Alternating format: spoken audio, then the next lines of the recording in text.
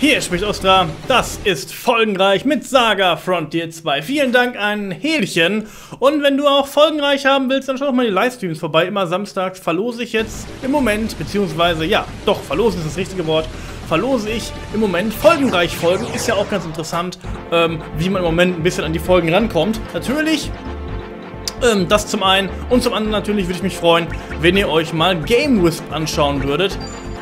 Die Seite äh, mit der man mich natürlich auch unterstützen kann, wenn man denn ein paar äh, Flocken locker machen kann im Monat. So, Punkt.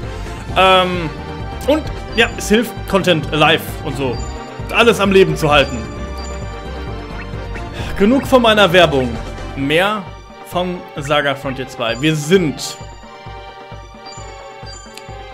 Wir sind immer noch im Aquaturm. Ich weiß nicht warum.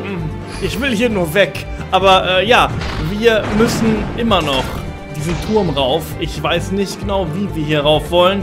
Aber wir werden es versuchen. Und dann werden wir die ganze Welt, beziehungsweise diese wunderbare Wüste wieder mit Leben und Wasser füllen. Wenn alles denn so werden soll, wie wir uns das denken. Was ich hoffentlich, was so hoffentlich passieren wird. Und dafür müssen wir eigentlich wieder darauf. Äh, entschuldigen Sie? Hier sieht mich nicht der Gegner. Das ist sein Ernst! Dankeschön. ja, aber wir sind hier schon lange genug rumgelatscht. Ich sag's, wie es ist. Das war dumm. Wir sind hier lange genug rumgelatscht und wir wollen definitiv hier nicht mehr sein. Ich, das ist so. Das muss so sein. Und ich weiß auch, so langsam könnte diese Episode enden auch, weil das Spiel extremst interessante Sachen für uns bereithält. Ihr wisst, um mal so zusammenzufassen, Gustav ist schon tot.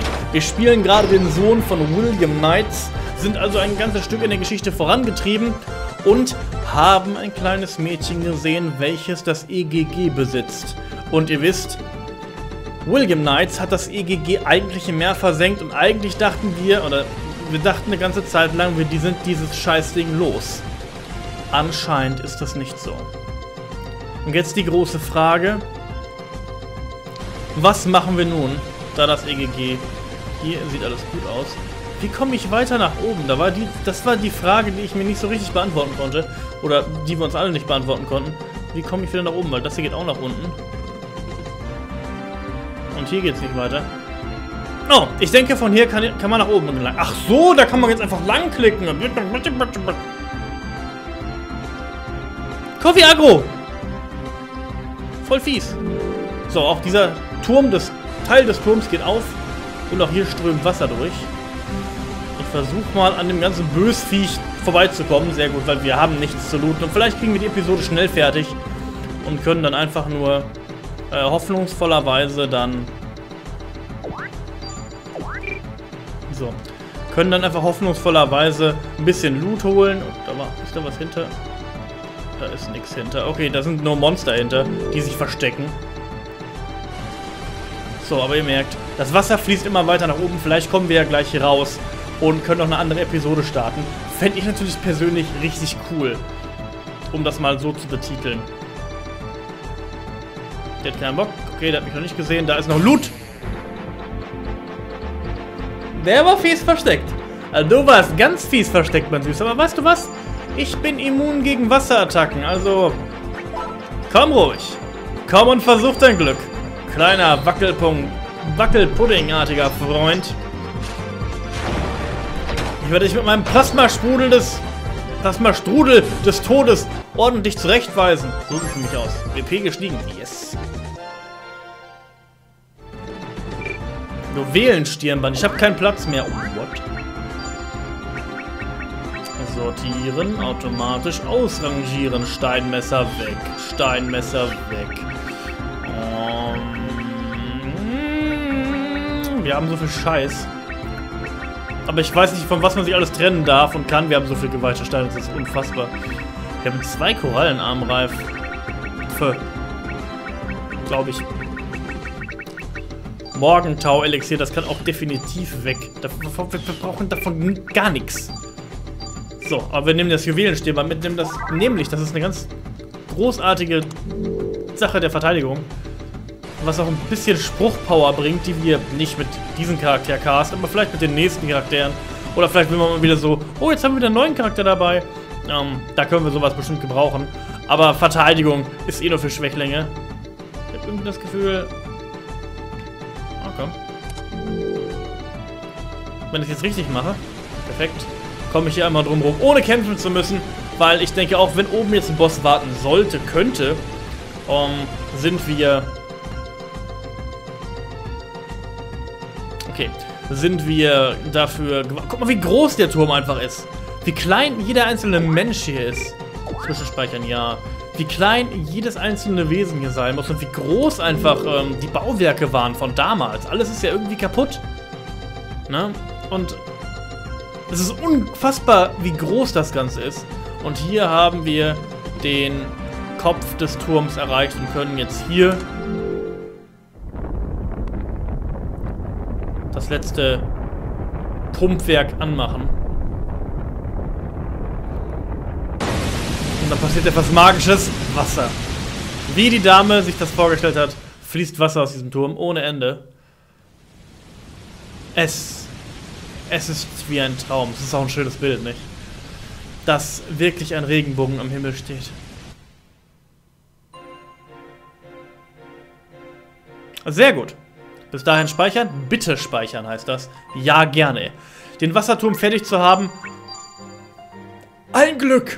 Und jetzt gucken wir mal, was wir auf der anderen Seite so machen können. Also wie wir äh, mit der anderen Hauptstory so ein bisschen weiterkommen. Wir möchten natürlich Rückkehr des EGG, da wollen wir noch nicht hin. Wir können nach Fortschland, wir können nach Gürgel. Wir können Edelritter spielen. Wir können ja auch in alle anderen, wir können auch hier in alle anderen Städte. Wir gehen mal erstmal kurz in die Städte, das wird uns jetzt nicht umbringen. Um, weil hier im Turm waren wir schon, da werden wir wahrscheinlich nicht hin können. Ich hätte Dichterin werden sollen, ja. Gibt es irgendwelche interessanten Charaktere, die man hier treffen kann? Ich glaube sogar ein Laubholz gibt es nicht. Okay, danke. Im Laubholz gibt es nämlich nicht mal... Um, in Laubholz gibt es nicht mal einen Händler, so wie ich das verstanden habe. Hier gibt es einfach gar nichts. Vielleicht habe ich mich agiert und wir können vielleicht noch was kaufen oder mit irgendjemandem handeln. Juhu. Hier geht's rein. Es ist so ein Laden. Interessant. Guten Tag.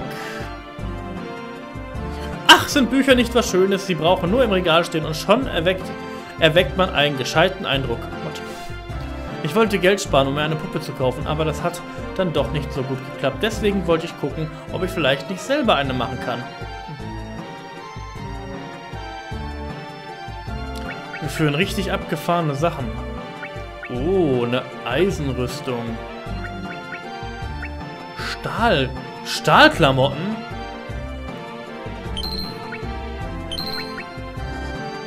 Oh, Inventar voll. Moment!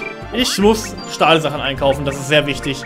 Denn ihr wisst, Stahl ist Anima-immun und wir brauchen etwas, was gegen Anima immun ist. Ich meine, das Spiegelschild ist schon nice. Das Lavaschild ist genauso nice. Da brauche ich vielleicht kein neues Schild. Hier ist nochmal ein Mistelzweig. Ach, ich weiß es doch auch nicht. Hm, manche Sachen kann man ja dann doch gebrauchen, ne? Was denn mit diesen Amethystsplittern eigentlich? Da haben wir vier Stück von. Brauche ich die? Kann, kann das weg? Ich schmeiß einen weg. Außerdem schmeiße ich eine Magierrobe weg, weil die sind auch wertlos. Ach, die Fontänenperle durften wir behalten. Ah, kein Wunder, dass mein Inventar so schnell voll war. Ich weiß, ich habe natürlich trotzdem das ganze, das ganze Inventar voller Kohle. Äh, wir brauchen trotzdem noch die hier einmal und wir brauchen... wir führen richtig abgefahrene Sachen wie diese hier. Wir brauchen auf jeden Fall die komplette Stahlausrüstung. Ein Donnerschwert. Uh. Ein Druidenbogen. Uh. Mein Inventar ist fettvoll. Was kann ich denn hinter der Theke kaufen? Dasselbe. Schade. Na gut, okay, aber die haben wirklich abgefahrene Sachen hier in Laubholz. Ich dachte, das wäre so, oh, das wird die kleine Stadt am Rande, äh, wo keiner irgendwie, aber...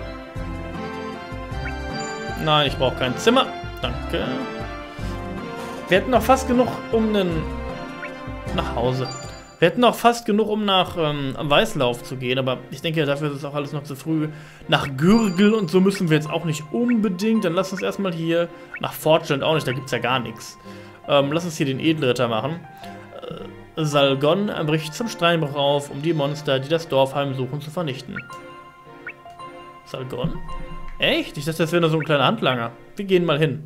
Schon wieder zum Steinbruch. Ich wusste, dass im Steinbruch noch mehr war. Also doch im Steinbruch. Was denn schon wieder? Die Monster dort werden wir wohl nie loswerden. Es herrscht überall Krieg. Die Monster nähren sich von Anima und daran scheint es im Moment ja nicht zu mangeln. Wir sollten sie ausrotten, solange sie noch schwach sind. Für das Dorf. Auf geht's.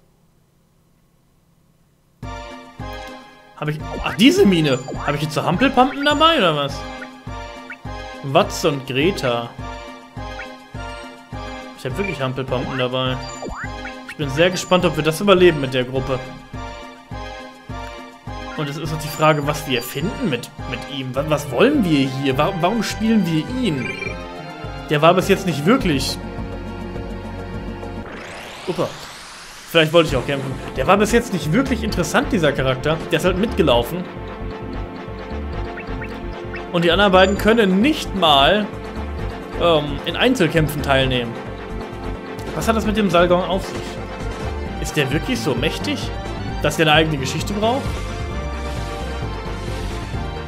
Viele, viele Mädchen. Nimm mal hier. Äh.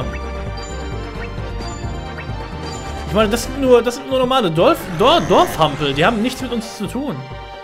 Die wohnen halt in irgendeinem Dorf und können, können, können einen Besen halten. Das ist jetzt nichts. Das ist doch jetzt, das ist doch jetzt nichts, worauf man stolz sein müsste.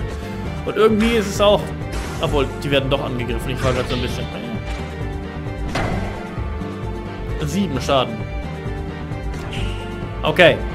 Alles klar. Wir brauchen mehr Ausrüstung. Beziehungsweise wir brauchen nicht auf die zählen. Oh Gott.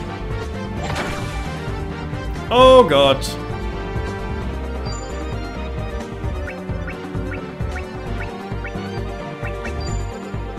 Oh Gott, wir machen keinen Schaden an den Leuten. Das ist überhaupt nicht akzeptabel. Oh mein Gott, oh mein Gott. Tornado! Schon besser. Ich war nie darauf ausgelegt, dass ich mal vernünftig Schaden mache. Ich war immer nur, ja, kämpfen, muss das denn sein? Oh, die Verteidigung ist wirklich nach unten gerutscht. Das hat gerade nur drei Schaden und sieben Schaden gemacht, jetzt macht es einfach 22. So, wir wollen Himmel und Hölle machen. Und zustoßen. Vielleicht lernen wir ja noch was. Um, so am Rande der, der Veranstaltung. Das wäre schön. Obwohl, wenn er mit Himmel und Hölle drin ist, lernen wir wahrscheinlich da nicht mehr, nicht, nicht mehr von. Gestunt. Oh. Er lebt noch. Null Schaden. Yay. Ich habe ja so Zweifel. Gnade vor mich. Okay, lass uns, lass, lass uns den Gegner bloß hinter uns bringen. Guck mal, wie flach er da hinten ist. Der ist, immer, der, der ist überhaupt nicht 3D. Der ist einfach in den Boden abgesunken. Warum? Was? Außerdem, mein Salgon hat Schuhe an, als ob er zwei Baguettes seine Füße trägt. Sehr schön. Ich wollte es nur sagen, ist mir aufgefallen. Nein, ich möchte nicht gegen die Vögel kämpfen. Das sind meistens Drachen. Ich möchte nicht gegen einen Drachen kämpfen. Auch nicht, wenn du böse sagst. Ich möchte nicht gegen einen Drachen kämpfen.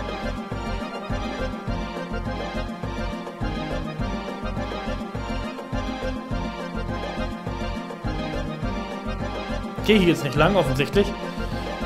Mist.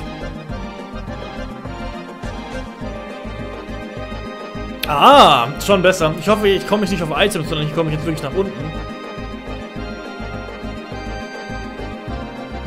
Hier den Loot haben wir irgendwie verpasst, warum auch immer. Das ärgert mich immer noch, dass der immer noch da oben steht. Ah. Ah. Streitaxt. Inventar ist voll. Ah. Ich, ich schleppe Gegenstände aus Gezeiten mit mir rum. Und ich will sie nicht loswerden. Ich habe nur Quelz dabei. Jemand folgt uns. Wer ist da? Du hast mich bemerkt. Beeindruckend. Ich wollte sehen, wie gut du kämpfen kannst. Deswegen bin ich dir gefolgt, Salgon. Wer bist du? Gustav. Hier geht es um Leben oder Tod. Hör auf herum zu zwitschern. Ich werde an deiner Seite kämpfen. Was sagst du dazu?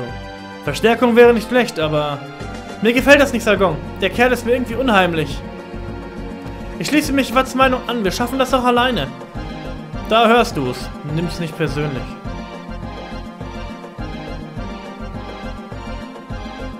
Dann werde ich... Dann werde ich mir das aus der Ferne angucken. Ah, das ist die Verbindung zu Sargon.